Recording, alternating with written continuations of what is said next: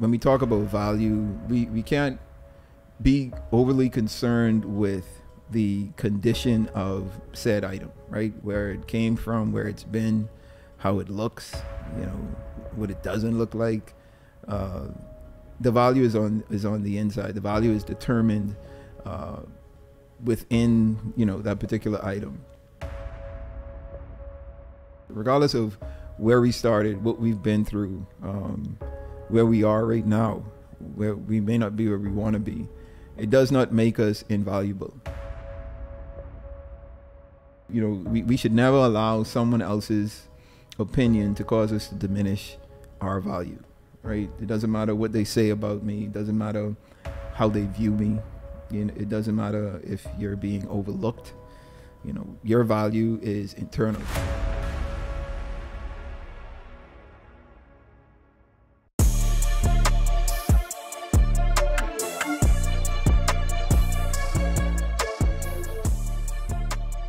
What's up? What's up, everyone? Welcome to the new episode of the Myles High Podcast. This is Myles Jr., your host.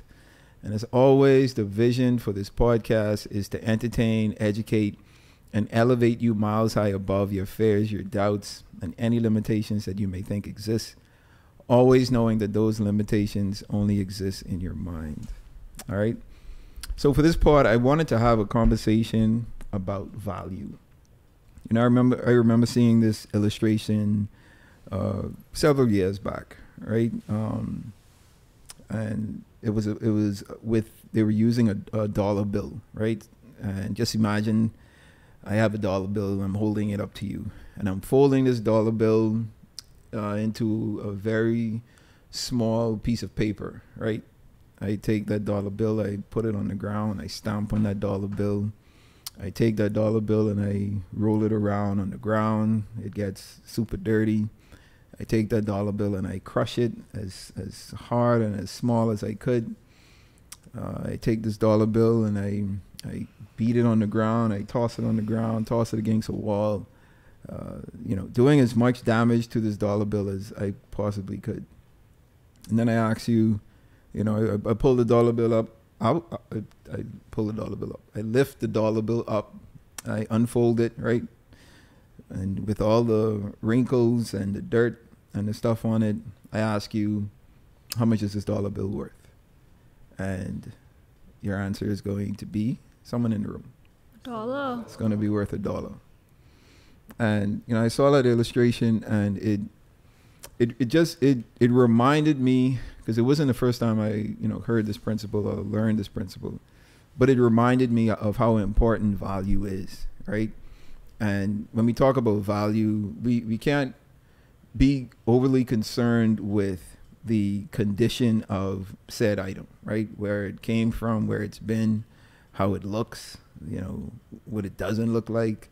Uh, the value is on is on the inside. The value is determined uh, within you know that particular item. So just like that dollar bill, you know, we must look at ourselves the same way, right? Regardless of where we started, what we've been through, um, where we are right now, where we may not be where we want to be, it does not make us invaluable. Um, what people say about us, you know, what people say towards us, what people don't say, you know, if we're not getting any recognition, uh, it doesn't it doesn't determine our value. You know, we, we should never allow someone else's opinion to cause us to diminish our value. Right? It doesn't matter what they say about me. It doesn't matter how they view me. You know, it doesn't matter if you're being overlooked. You know, your value is internal. Um, you know, and I, I, I just remember my dad always teaching me this principle of value, right? He, he taught me two principles of, about value. The first was uh, the difference in value that that we as individuals have for things, right? So we, he and I were discussing one day uh, selling a piece of property that we had, and you know we discussed price that we wanted to sell it for.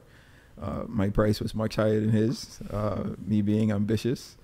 Um, and you know it just was no never mind to him it was like okay cool you know you could list it for whatever you want basically and i was like you, you don't want to agree on a price and he was like well you know, the price that we uh, put on the the property uh, really isn't going to make that much of a difference because the the the value of that property is going to be what someone else is willing to pay for it, right? And like I remember hearing that for the first time and not understanding it. I'll be honest at first, and just being a bit confused as to, you know, if someone, uh, if the value of the property that I have is worth what someone else wants to pay for, then if they're not willing to pay my price, then I'm not going to sell it. Right? That's that was my my mindset behind it. But then when I dug a little deeper, like and he and I kind of talked about it some more. I, I really started to, to understand the principle behind it, right? It really had nothing to do with the property itself or the price of the property or even what someone was willing to pay for the property, right? It was a principle behind this, right? Because the value that we have on something um, is our value, right? What we determine, what we determine, like we want to value this item at, but the true worth, right? The true value of the item, or I should say, the the the the value worth of exchange for the item, is is based on what someone someone is willing to pay for it. Um, you know, and I guess Sharice could attest to this, especially with, with social media and and and you know any person that has ever started a business or, or sold a product or or anything, right? A lot of the times we produce things, right? We we make things available to the public that we've either created or um, you know came up with in our minds as an idea and, and brought to the masses, whether it's a product, a service, you know, whatever that is. Um, Sharice with social media, you know, she and I have this conversation all the time. Um, but let, but let me get to the point first, and I'll get to Sharice. So, you know, sometimes the, the, the product that we envision or the service that we envision that we want to sell isn't the product that the consumers want. And I, I tell people as much as a, I, I, as much time as I get to, I try to tell people like, man, sometimes you just have to put put stuff out there and see what sticks, right? Um, because a lot of the times the things that we are like working hard at, right, putting a lot of effort behind um, to make perfect, at least what we deem as perfect for like the public or the consumers or whoever we want to uh, interact with what it is that we're providing or what we're serving. If uh, if they don't like that product, they're not going to buy that product or they're not going to make use of that product. Um, you know, Sharice has, you know, she's been uh,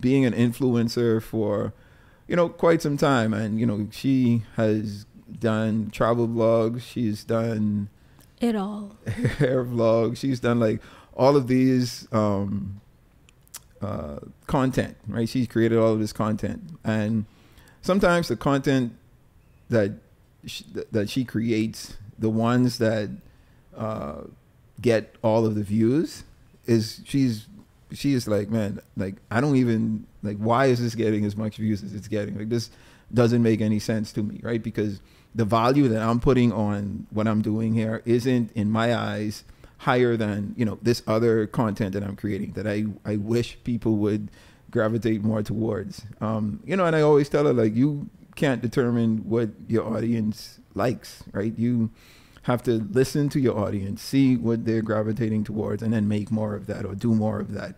Um, and and that's kind of like what we should look at value. Now, now, I'm not saying that you should allow others to determine the value of things, but what I'm saying is value the valuation of like services, right? Because um, there's a difference between the value that we have in ourselves, that we place on ourselves, or that we should, what, what we should value ourselves, versus what we value, you know, something that we're providing, whether it's a product or service. So, so the value that we place on ourselves is is based on uh, the work that we put in, right? The the development that we have, the education that we have, the wisdom that we have, how we are able to apply that information. Uh, and then what my dad taught me was, man, the, the value that we place on on on stuff, right, on items, on services, on products, uh, essentially is determined by the consumer. Um, and you know that was an an important principle for me because you know I always I used to to think that man if you know, I create a product or service and I make it available to the public, Like I'm going to set a price and be firm in that price. And if you don't want to pay for uh, my product or service, then you know you just don't don't buy it. Uh, but you know, in the long run, like we hurt ourselves as businessmen.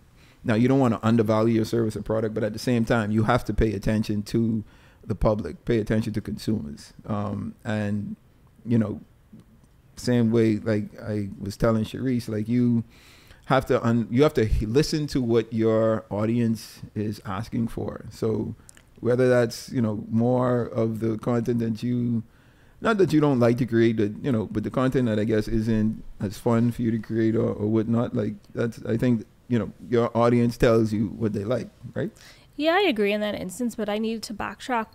Sometimes when you set your prices and then you have people who don't agree with your prices you have to stand firm to say this is my price because my price is my price and i put that value into it.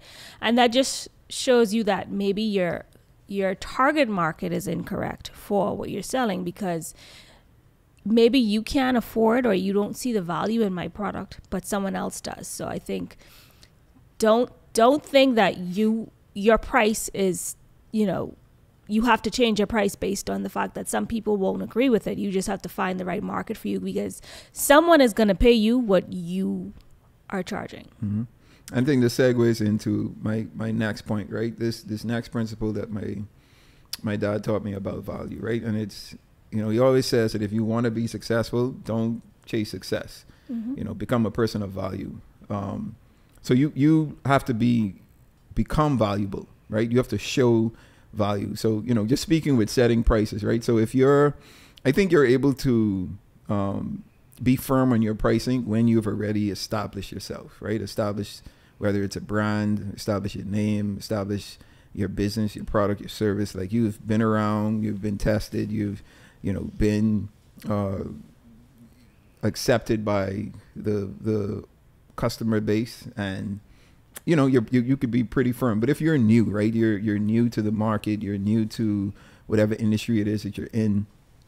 I think you have to become valuable, right? So you have to show your value. So sometimes you, you know, could start you have to start off by you know maybe giving stuff away for free or giving stuff away at a super discount uh, and you know that's what i'm talking about more so than than anything else right because once you're established you know you you have a lot of um, uh, leeway to say man you know i'm not going to uh, lessen my value because someone says that they can't afford me right mm-hmm. um, I, I, think it's important that we we stand firm and and remain to the level of value that we see ourselves or the level of value that we want to attract. But at the same time, like if you're starting out and you're new, you know, to whatever industry or platform that you're on, uh, you you you're, you're gonna have to uh, show your value, right? Or you're gonna have to prove the value that you're bringing to to the table. And I, I think a lot of times people try to, you know, off the bat they they try to be firm on pricing, like especially this this younger generation, right? Where we want you know almost instant gratification. Like every idea that we come up with, we think is the best idea. Everything that we put our hands to, we feel that it should work.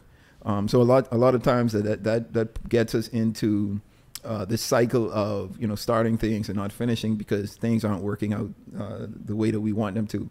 Um, but you know, like I said, you have to you have to show or create the value for yourself or your service or the, or the product that you're bringing to the table and that takes time and you know that takes you you know doing it for free doing it at a discount uh, maybe uh, undervaluing yourself for a period of time so that you can build up the customer base the clientele and, and whatnot. You agree? Yeah i agree. So no pushback.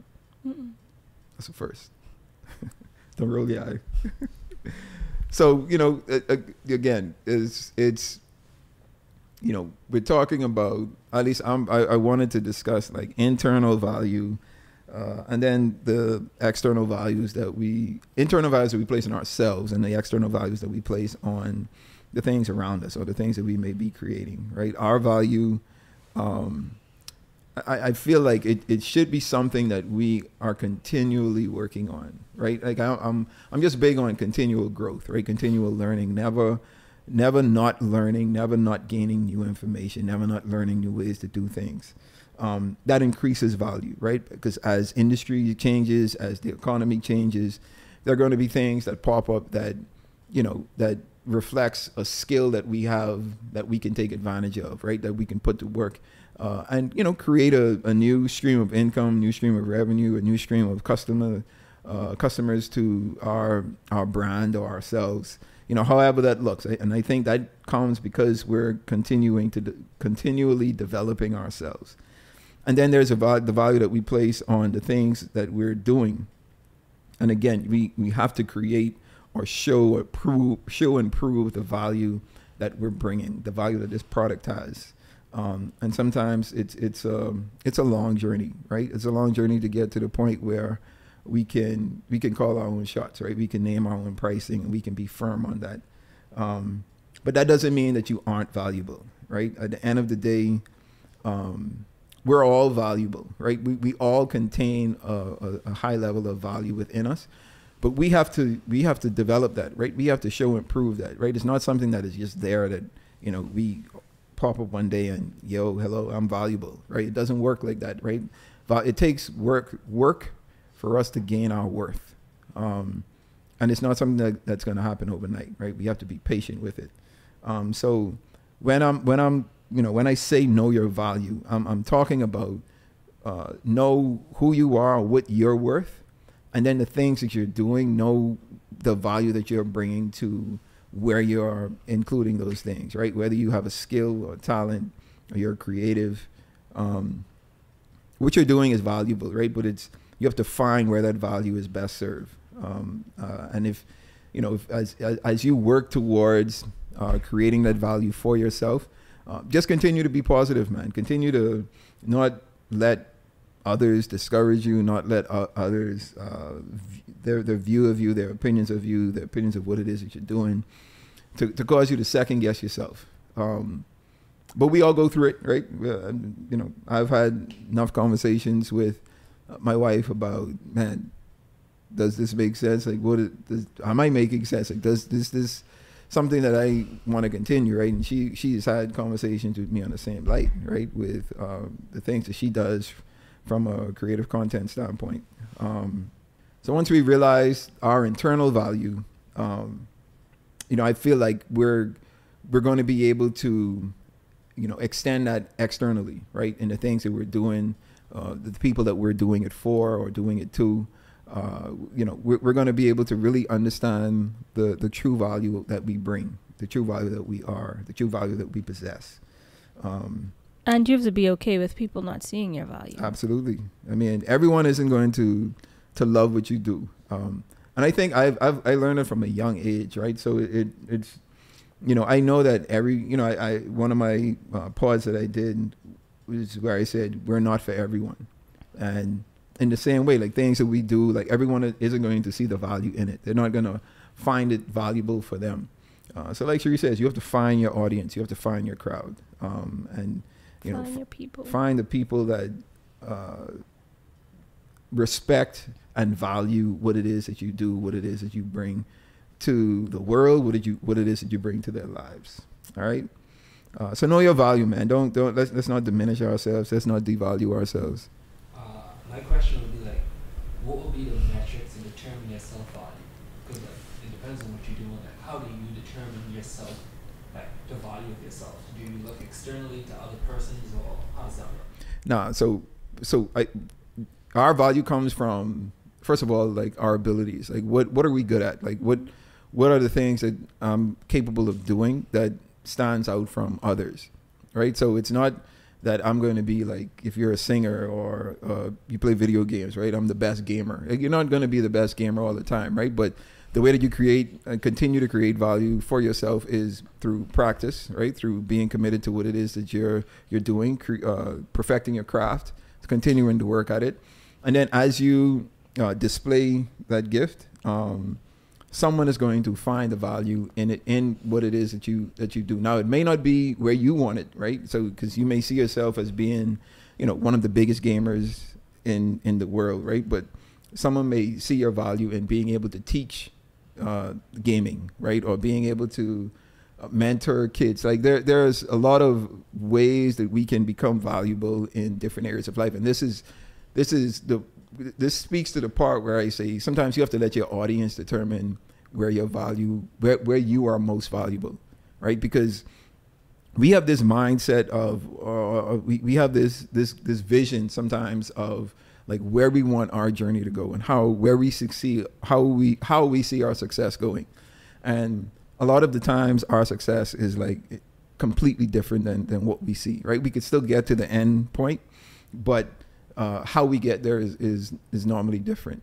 Um, and usually it's those who aren't able to adjust and, you know, kind of veer off what they think the vision of success should be are the ones who aren't super successful because they don't adapt to what it is that the audience is asking for, right? Um, because once you like once if if you adjust and and adapt to what the audience wants and you gain success in that lane a lot of times you'll be able to pivot and actually do what it is that you want to do right? Because you've been able to create so much value in, in one aspect you've gained um, the notoriety and the acceptance or, or you've been able to build your brand to the point where okay man i, I could venture off and, and do what it is that i want. But it starts with like knowing you, like knowing what you're good at, who, you know, knowing who you are, knowing the value that you have within, right? And uh, determining that, man, I'm going to be as open to uh, displaying and increasing my value as as I can. Um, I don't want to limit myself. I don't want to put myself in a box. I'm going to let this this platform, this audience, like really determine uh, what my value, what the possibilities of of my value could be. I want to chime in. Mm-hmm. So, in the world we live in today, people are always talking about oh, what your metrics are, what your metrics are, and I think this has kind of scared people into not believing or not understanding what their true value is in a sense. I have a story. A lot of companies hit me up. Either they want me to review things for free or they want to do a compens- an exchange where I would review something and they would give me entrance into things or you know the ability to enjoy whatever it is I'm promoting. Mm-hmm. Um, and a particular company hit me up and I and I kind of was it was a big company who was capable of paying it should if they wanted to. Um, paying you for the paying promotion. me for promoting mm-hmm. whatever it is they wanted me to do. Mm-hmm. But it was such a slap in the face because the way you are perceiving me isn't the way that I perceive myself. Mm. So if I was someone who did not know my value, I would have taken on the project because it's a big company. Um, and I want to be seen as someone who is aligned with this brand. But no, you hit me up because you know my value. Mm-hmm. So if you know my value, you should be able to pay me whatever I ask you to pay me. Mm-hmm. So I think in this this world that we live in today, I think it's super important to know that whatever you think your value is, that's what your value is. And someone will pay for it because even even when you look at larger influencers who have like a hundred thousand followers versus say an influencer who has fifty thousand dollars, many times followers. followers mm. many times an influencer with fifty thousand dollars can demand followers, followers can demand more money than someone with a hundred thousand dollars because they followers. know followers because they know their value. it coming, I feel it. It, it, it coming. So you just have like smaller influencers. They are able to demand that money because they're they're not budget. This is what I bring to the table. This is how long I've been doing this. I don't care if you have someone who has a hundred thousand followers. There you go. This is what I'm charging, and many times you just have to step out on a on a ledge and say this is what i want yeah and you know uh, i think that brings up a good point too right because i'm saying or i said uh, you know sometimes you have to uh, discount your, your value or discount what mm-hmm. it is mm-hmm. that you think you're worth just so that you can gain traction and you know gain a, a, a foot in in whatever industry that is uh, but sometimes like you don't have to do that right mm-hmm. but just know that if you if you take the route of man i'm not going to diminish my value then it, it may take a little longer, yeah. right? It's, you're gonna have to be a, a, lot more patient, right? Because you're gonna have to wait for wait for your tribe, wait wait mm-hmm. for that that audience that is going to value the way that you you value yourself. Yeah, and we also see it causes a lot of a lot of I guess problems in any type of industry now because when you have people doing so much of the same thing, Mhm. A lot of people are undervaluing their goods, their services, and it makes it hard for people who actually are giving a good product across all industries, you Mhm. know, construction, media. Mhm. You know, you see people doing things that you would charge full price. They they're charging, you know, uh, uh, fifty dollars. I, I give you that for twenty five dollars. You you don't know your you don't know your value. You get what you pay for, though. It, you also get what you pay for. So just know your value and trust that you know what you're doing and you can demand whatever you ask for. No, absolutely, absolutely. Anyone else want to chime in? No, man. I, I, I- you know, I, again, Sharice and I have these type of conversations all the time. Um, you know, there's always a company that hits her up and wants her to, to promote, you know, a product or, or promote something, and you know they they won't give up pennies on the dollar, and it's like, come on, bro, Listen, you hit me, you hit me. I've been in the game from before it was a game. like, don't play me like that. I Oh, can man. buy my own shampoo. Oh man, but know your value, right? That's I think that's that's the, the principle that I, I want to get across. Um, you know, don't chase success. You know, just become a person of value, and, and success is going to follow uh, in every aspect of your life. All right. Brings us to the segment of the pod where I want to leave with you a milestone. Today's milestone is a quote by M. Scott Peck, right? And it says, Until you value yourself, you won't value your time. And until you value your time, you will not do anything with it. Um, I think this shows the importance of of creating value, right? Understanding our value, knowing our value. Because once we value ourselves, like we're not going to waste time with things that aren't valuable to us. Um, and in turn, right, we're going to put a lot of our energy into the things that bring value to our lives. All right, so let's let's um, let's know our value, right? Let's start to value ourselves uh, at the level, at the worth that we we know we are, that we know we should be. All right, brings us to the end of this pod. Um, hopefully, this was an informative one. Uh, hopefully, you learned something, right? Because you know, as always, my my vision and my goal is to entertain, educate, and elevate you miles high above your fears, your doubts, and any limitations that you may think exist. Always knowing that those limitations only exist in your mind. All right. Until next time, you guys stay blessed.